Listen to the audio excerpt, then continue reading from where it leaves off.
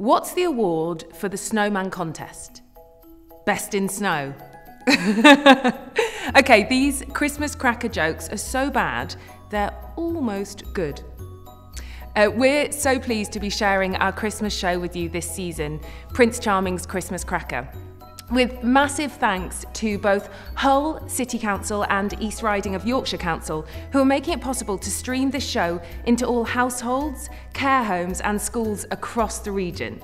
You can join us tomorrow, that's Tuesday the 22nd at 7pm for a very special performance. But don't worry, you can catch us afterwards on demand, and that's between the 23rd of December to the 3rd of January.